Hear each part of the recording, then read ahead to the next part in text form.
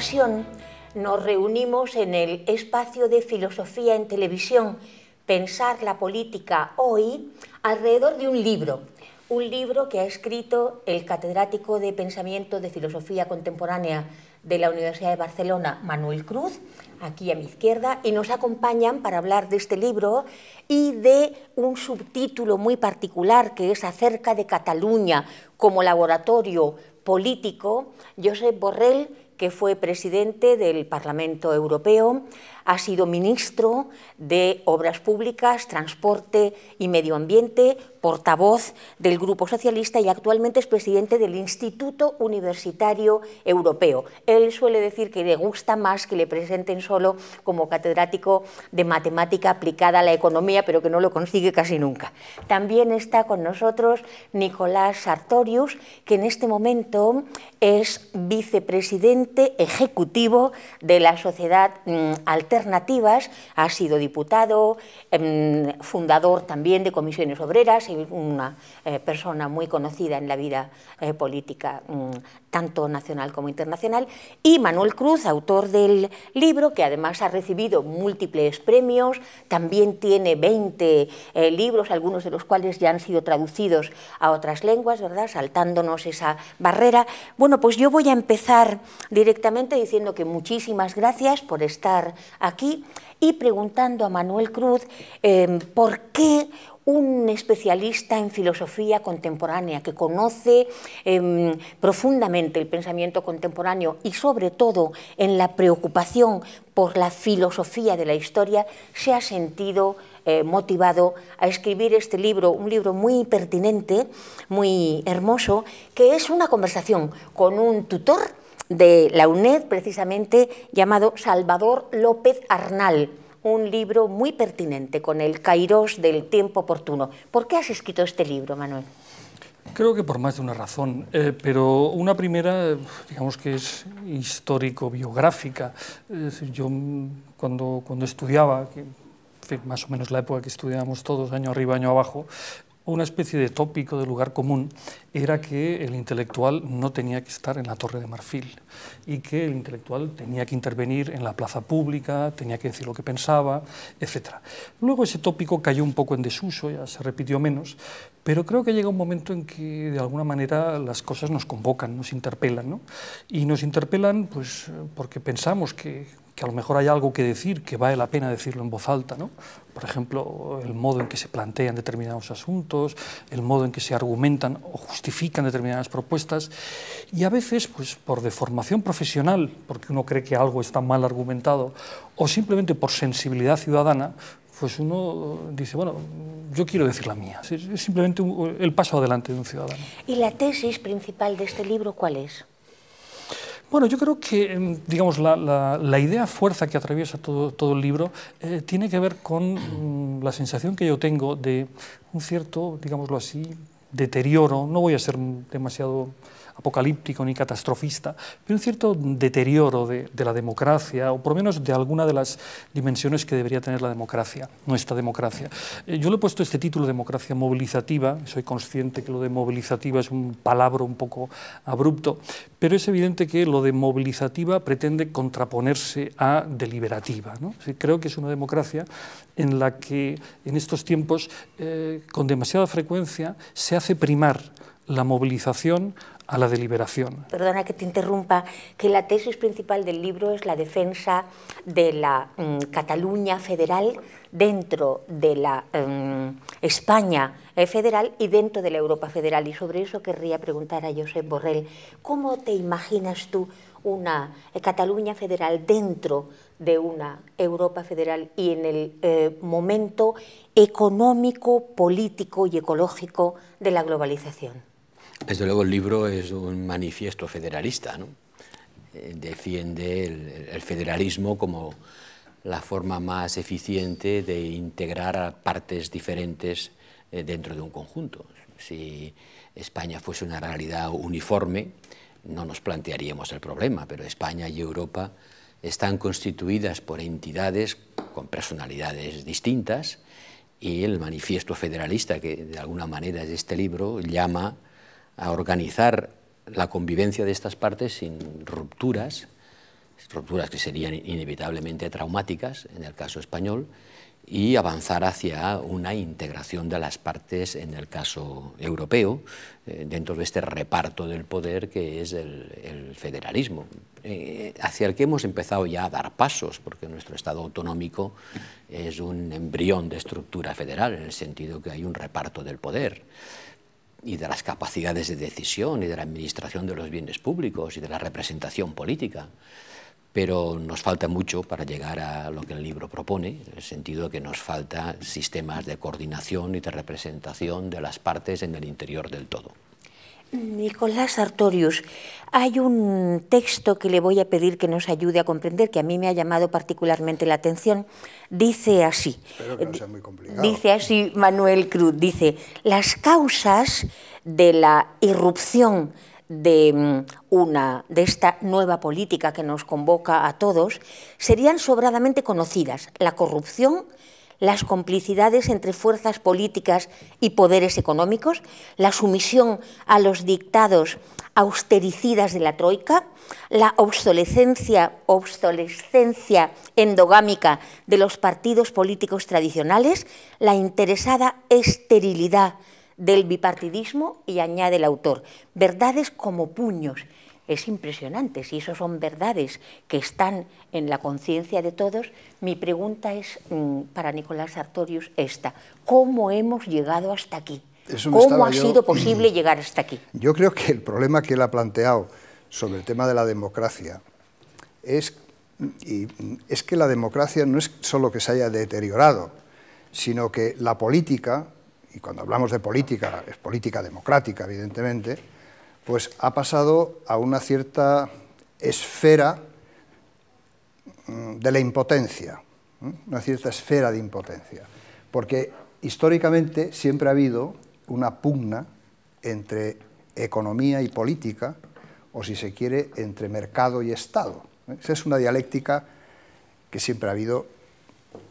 Y últimamente, con la globalización, con la revolución tecnológica, con una serie de fenómenos, evidentemente la economía y el mercado se han impuesto de una manera tal sobre la política que la gente tiene la sensación de cierta impotencia de que se puedan cambiar las cosas de verdad, de que se puede influir, porque hay unos poderes que en realidad son los al final los que mandan, deciden, eh, se fugan de un país, invierten en otro, hacen cosas que se hacen muy difícil el que tú puedas decidir los ciudadanos puedan ser los que decidan su, destino. Y eso es un poco la crisis actual de la democracia, que es lo que yo llamo en algún texto, en algunas conferencias que he dado recientemente, la necesidad de ir a una democracia expansiva. Es decir, la democracia expansiva es que el capital se ha expandido y se ha hecho global. ¿Estáis de acuerdo vosotros dos, perdona un segundo que te interrumpa, con ese diagnóstico? ¿Es una pugna de dialéctica entre entre economía y política a causa de la globalización la que da lugar a esa sensación de impotencia. ¿Tú qué piensas, Manuel? Bueno, yo, creo que efectivamente eh, por eso el subtítulo hace referencia al laboratorio político. Es decir, yo creo que eh, en este momento, quizá más que nunca, eh, el análisis de las coyunturas particulares, sea la de España, sea la de Cataluña, sea la de Grecia, es cada vez, siempre es conveniente inscribir las cosas en un contexto mayor, pero ahora es rigurosamente necesario.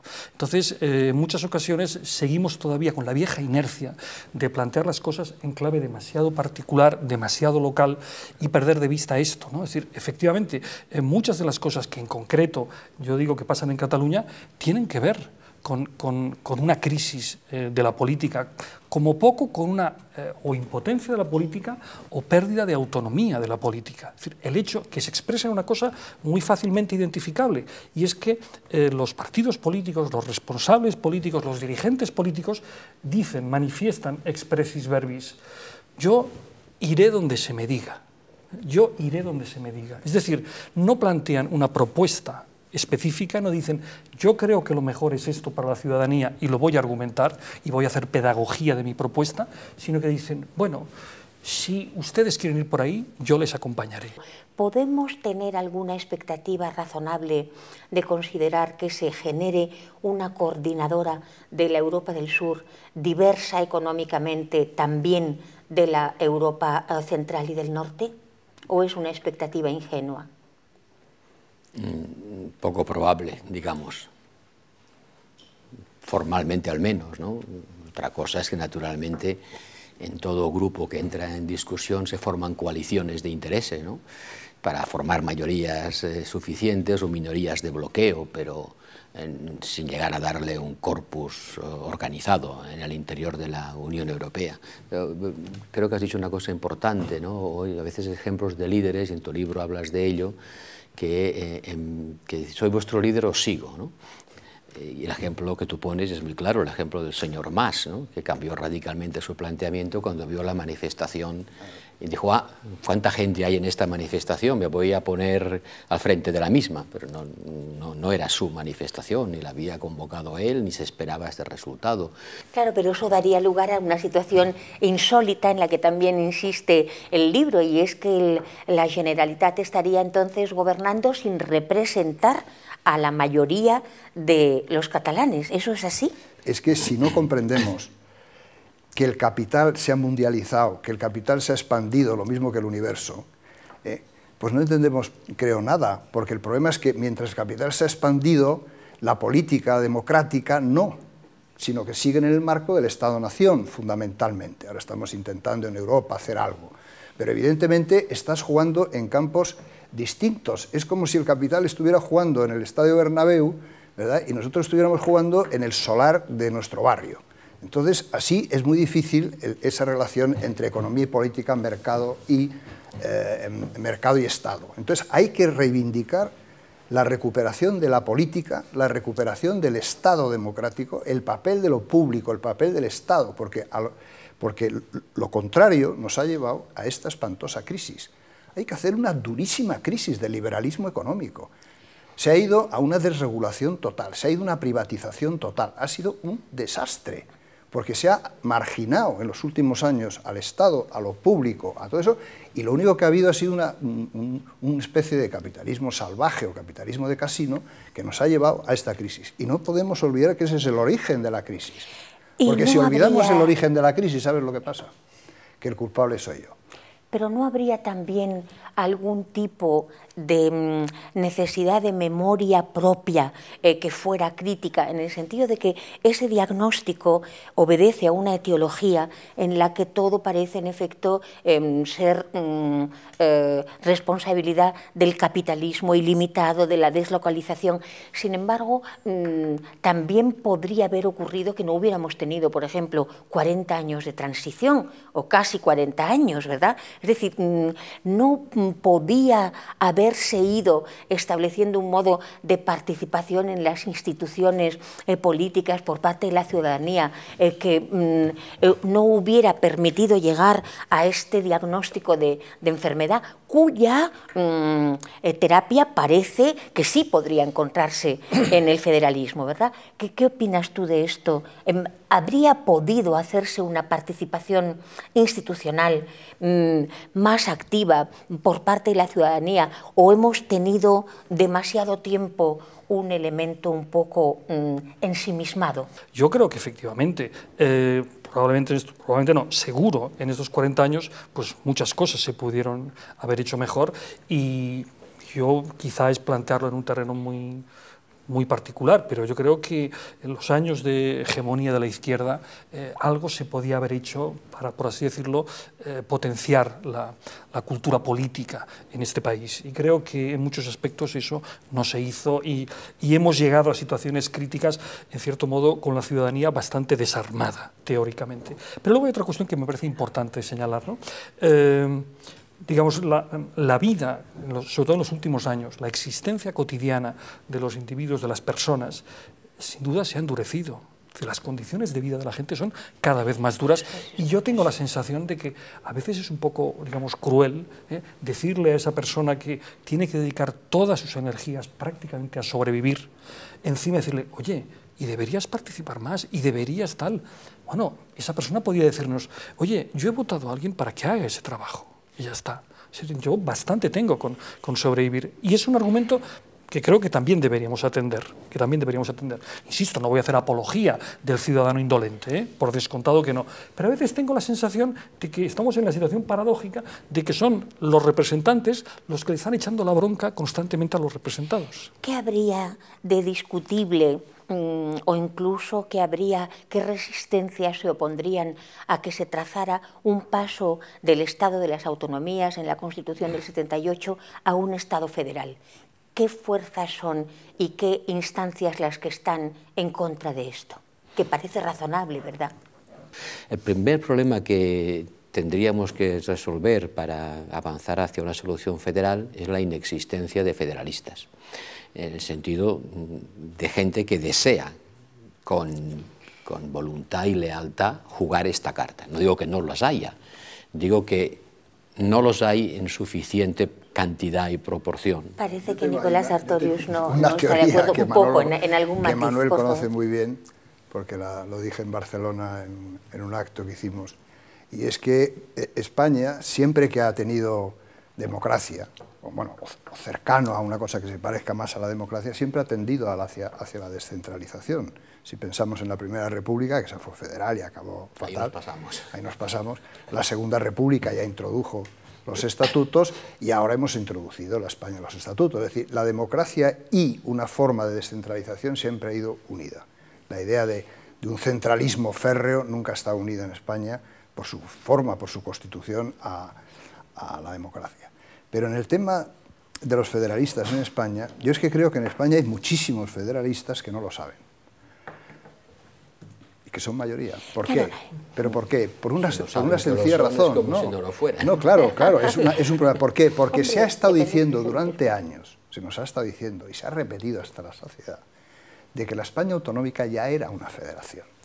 Eso se ha estado diciendo siempre, como gran argumento, es decir, pero ¿para qué vamos a ir a una España federal si ya las autonomías es prácticamente una federación? Si las autonomías, por ejemplo, del País Vasco, Cataluña, tienen más poderes que los Länder alemanes, ¿para qué vamos a ir? O sea, se le ha estado haciendo el discurso a la, a la ciudadanía española de que esto prácticamente era ya una federación, cosa que no es cierta. Y esto se ha asumido y se ha aceptado.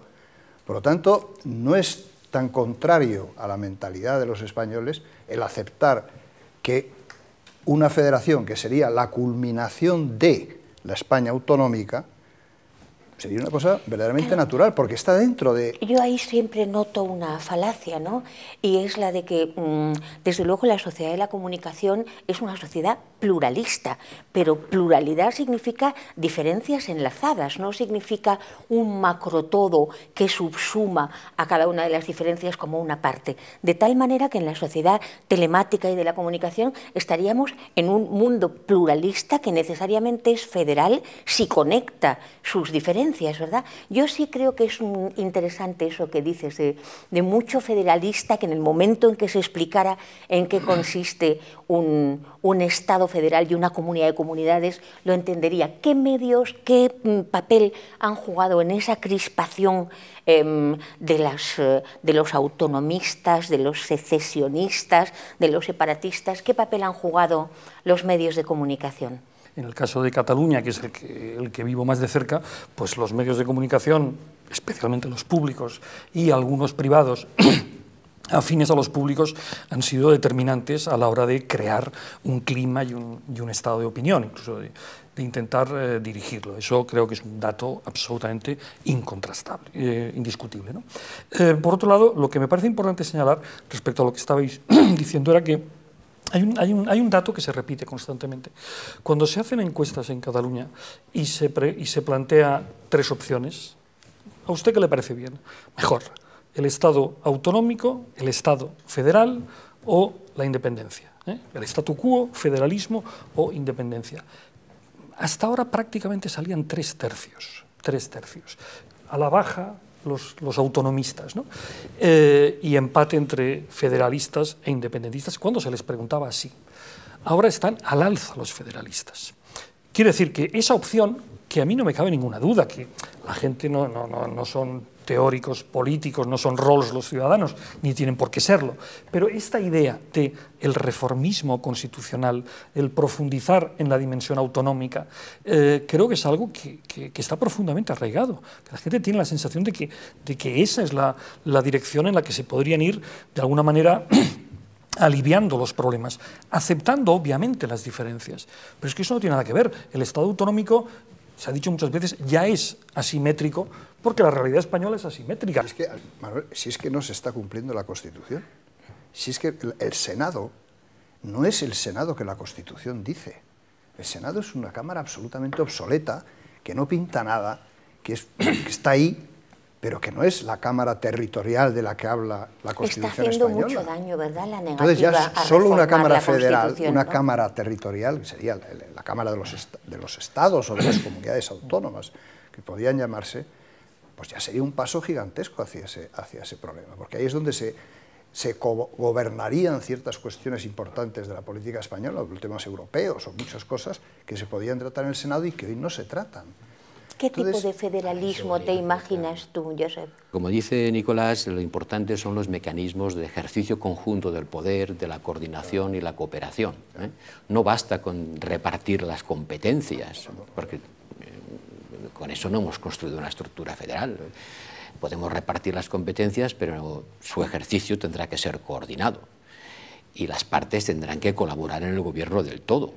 Y para eso hace falta instituciones algunas de las cuales están dibujadas o referidas en la Constitución, pero que no se han desarrollado. El Senado es un buen ejemplo, pero no sería, eh, no sería el único. Eh, pero eso significa también el, ejercicio del poder de una, desde una manera diferente, ¿no? con una raíz territorial, algo a lo que no estamos acostumbrados. ejercemos el poder desde una dimensión ideológica, ¿no? socialistas o populares, o de un partido político o del otro. Pero en una federación el poder también se ejerce desde las partes, que están representadas en tanto que tales, y ejercen en tanto que tales. En un Senado las comunidades autónomas estarían representadas en tanto que tales y participarían desde allí en determinadas decisiones que impactan especialmente la dimensión territorial de la vida política.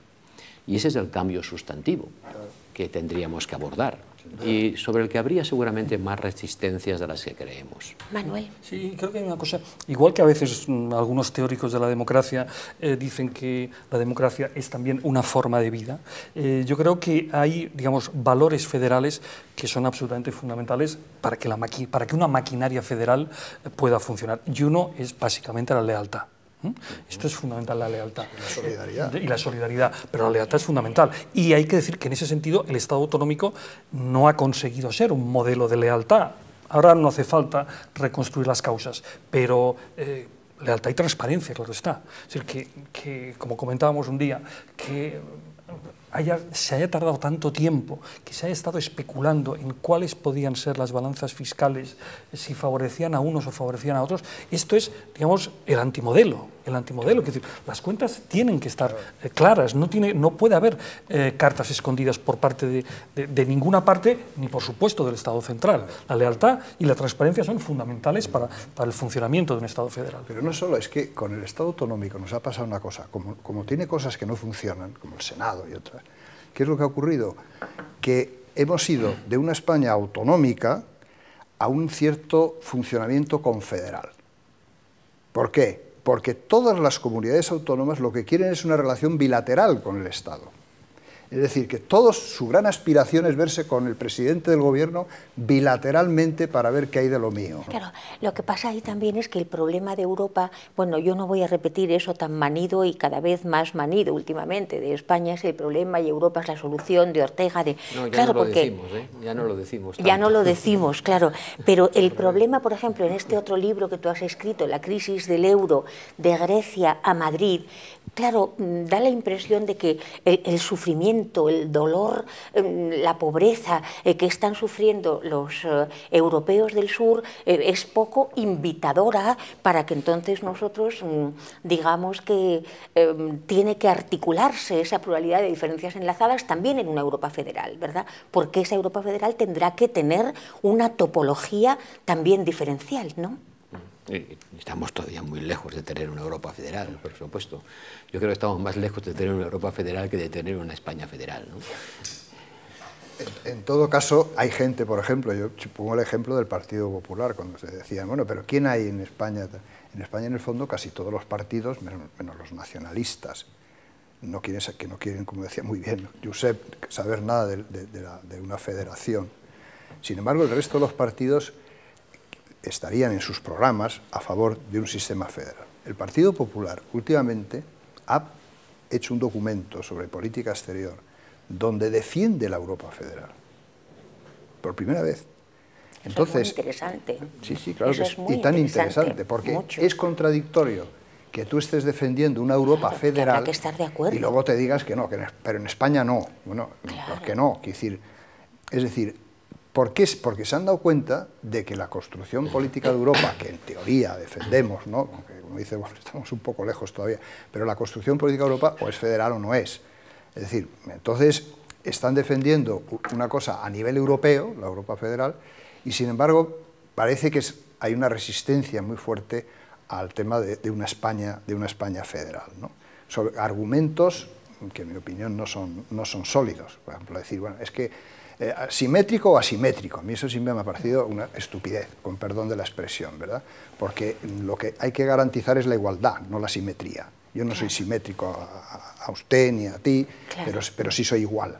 Entonces, el problema no es la simetría, es la igualdad. Bueno, pues vamos a ir terminando solamente a hacer un poco de memoria filosófica y es que, bueno, yo siempre hablo del tiempo y del espacio, a mí me parece importante ir mm, dando lugar a un reconocimiento de una memoria que permita que mm, admitamos tranquilamente que hemos tenido 40 años de eh, fascismo, que no estamos ahí, que estamos en otro lugar. Yo creo que la, el problema de la memoria es importante y el problema no solamente del tiempo, sino del espacio, es muy importante. La filosofía de nuestro siglo, a partir de la eh, segunda mitad ya del siglo XX, es una filosofía de las diferencias y trata con un espacio de lo uno y lo múltiple donde ni siquiera hablamos de la subsunción de partes en los todos, sino que hablamos de diferencias enlazadas que, por otro lado, era el modelo más antiguo de federalismo ya desde Grecia, ¿verdad? El Aristóteles griego, que era eh, isocrático, retórico,